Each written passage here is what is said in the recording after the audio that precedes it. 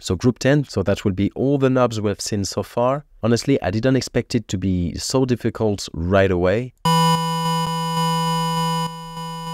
Okay, there is a long release, there are two oscillators, one is way higher than the other, and there is an LFO, a squared LFO. I want to get the tone first, so I'd say two octaves in the fifth, which was more of a square wave.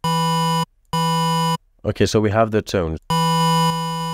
Okay, there is a modulation that seems square but random. Okay, that's sample and hold. Affecting the volume or affecting the filter? The volume more. I think should be at about 60%.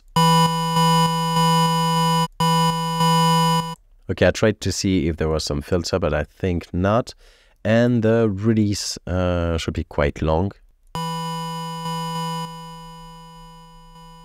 I think that's it. Let's submit. Perfect.